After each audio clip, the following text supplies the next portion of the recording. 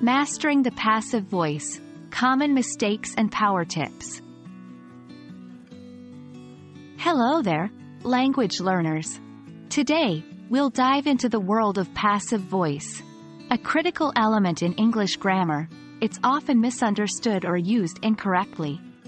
But don't worry, we're here to demystify it and provide you with some essential tips for recognizing and using passive voice correctly. Let's get started. Passive voice is a grammatical structure where the object of a sentence becomes the subject. This means that the focus is on the action, not who performed it. For example, active, James painted the wall. Passive, the wall was painted, by James.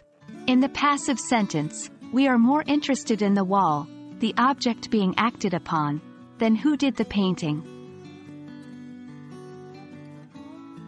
One of the most common mistakes is the misuse of verb forms.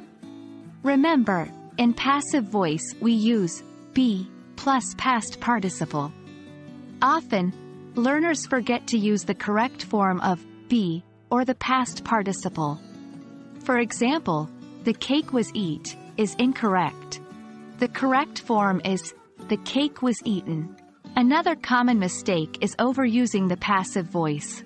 While passive voice is a valuable tool, it shouldn't replace active voice in your writing. It can make sentences unnecessarily complicated or vague. Let's go over some powerful tips to help you master the passive voice. 1.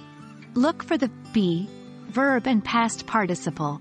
If you see a form of be, followed by a verb in past participle, it might be a passive sentence. 2. Check the focus. In passive sentences, the focus is on the action or the object, not on who performed the action. 3. Use it intentionally. Passive voice can be useful when you want to emphasize the action over the doer, or when the doer is unknown or unimportant. 4. Practice makes perfect. Try to convert active sentences into passive and vice versa to get a feel for the different structures.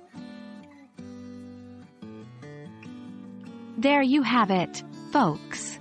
The passive voice doesn't have to be a mystery. By understanding its function and keeping these tips in mind, you can use it effectively in your English writing and speaking. Remember, learning a language is a journey. Keep practicing, and you'll see improvements. Hope this video was helpful. See you next time, happy learning!